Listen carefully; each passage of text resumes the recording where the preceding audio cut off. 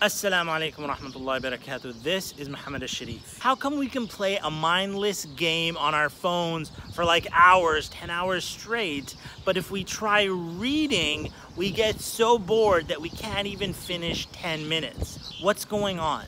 I realize that I have two brains in my brain. One is the mature adult brain that wants to do beneficial things like reading, and the other is a toddler brain that just wants to play with an iPad. When your adult brain starts doing something beneficial like reading, the toddler in your mind gets so distracted they start writing on the wall with crayons and your mind is like, it's blitzed, you can't focus. So if you only gave the toddler something to do, you would be able to focus on the beneficial mature things and that all happens in your brain.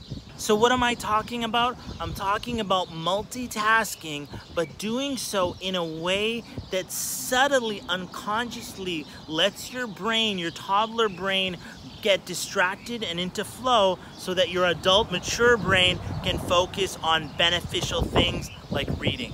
So the toddler brain isn't a hindrance.